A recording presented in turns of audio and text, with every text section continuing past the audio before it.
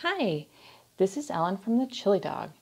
It's sweater knitting season and I recently cast on a slipstream cardigan. So today I'd like to teach you the cable cast on that I used.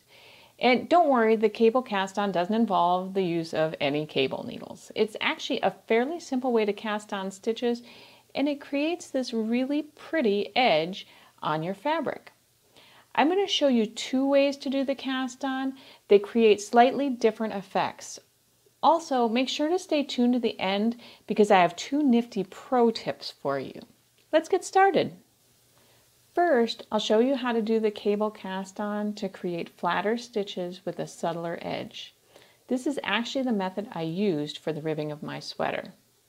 Like most cast-ons, the cable cast-on begins with a slip knot. Place it onto your left needle and pull your working yarn to tighten it up. Now take your right needle and bring it through that first stitch as if you were going to knit. Let me get my yarn tail out of the way. So bring it through the first stitch just as if you were going to knit that stitch. Wrap your yarn around and pull it through the stitch without dropping the stitch off your left needle. And then with your needle tips pointing at each other, slip the stitch from the right needle to the left. And then you can tighten things up a little bit. To cast on more stitches, insert your right needle in between the first two stitches. Wrap your yarn around, pull it through, and again with your needle tips pointing towards each other, slip the stitch from right to left. Let's do one more. Insert your right needle in between the first two stitches. Wrap your yarn, pull it through, and then slip the stitch with your needle tips pointing towards each other from right to left. And you would just continue casting on until you had the number of stitches that you needed for your project.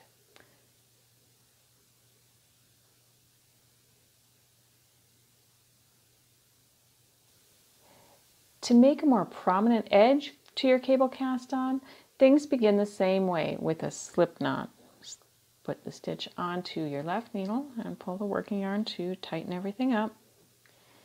And just like before, we're going to insert our needle knitwise through the stitch, wrap our yarn around and pull it through without dropping the stitch off our left needle and this time, instead of transferring things with our needle tips pointed towards each other, we're going to rotate that right stitch and I'm going to open it up a little bit here so you can see.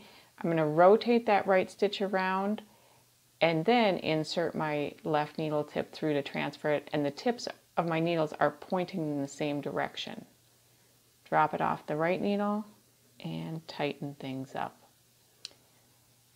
So we'll continue on very similar to before. Insert your right needle between the two stitches, wrap your yarn around, pull it through, and then rotate your needle and twist that stitch and slip it from right to left and the needle tips are pointing the same direction. And we'll do one more. And you would just continue on like this until you had the appropriate number of stitches cast on. Rotate around. The tips are pointing the same direction and then drop it off. And if it, to make it easier, you can wait to tighten things up until you have your knitting needle here between the two stitches and then tighten things up. It's up to you. I knit up a couple little swatches so we could take a close look to see the difference between the two versions of the cable cast on. When you slip your stitches purlwise with the needle tips pointing towards each other, the stitches just lie a lot flatter in this first row of your knitting, but you still get this nice twist at the edge. For our second version, we slipped our stitches from right to left knitwise with the needle tips pointing in the same direction. And here, this spiraled edge pops out a little bit more and you get a little bit more dimension in the first row of your knitting. But again, you still get that pretty cable twisted edge. And either version is fine, it just depends on the effect that you want to achieve with your knitting. The problem I have with both versions of this cast on happens here at the very first stitch.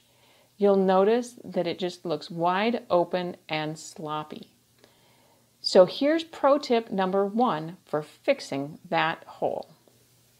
To neaten things up in either version of the cable cast on, start with a slip knot as before, but instead of inserting your right needle tip through that slip knot as if to knit, we're going to take the right needle and place it to the left of the slip knot.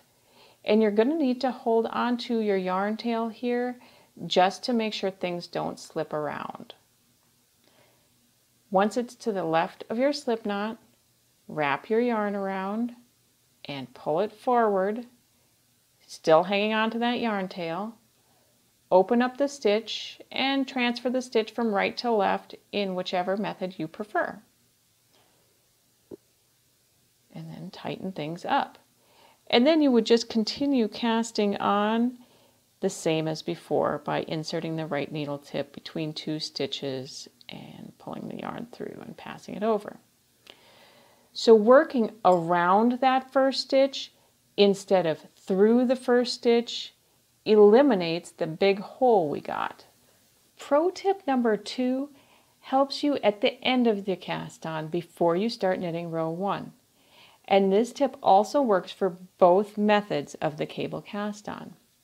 Before you transfer this last stitch from your right needle to your left, bring your working yarn forward between your needle tips and then transfer it as you have been for the rest of the cast on. This helps neaten things up and gives you a little bit more of a corner here at the end and it prevents the last stitch from passing over the next to last stitch. I hope you enjoyed learning two ways to do the cable cast on. If you did, Make sure to give this video a thumbs up and subscribe to my channel for some weekly fiber fun. Until we stitch again, happy knitting!